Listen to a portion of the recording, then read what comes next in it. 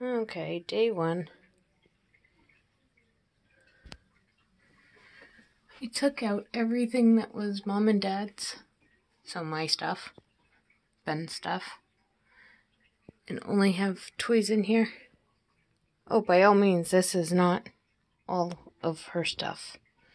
It's just all that I was willing to put back in for today because it's all out here. So this looks worse than it actually is because all that stuff can go back in the playroom closet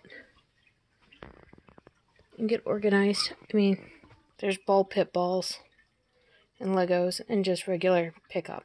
So, shouldn't be too bad. Tomorrow's another day.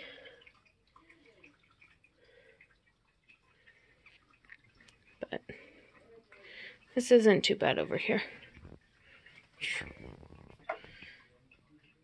So I took everything out, wiped down all the shelves, and started putting stuff back in. So these puzzles are all the ones that have all the pieces in them.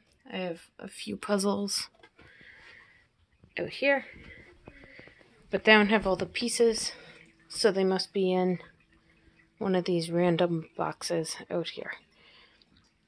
So nothing goes back into that closet unless it's fully complete, clean, good stuff. Alright, tomorrow's another day.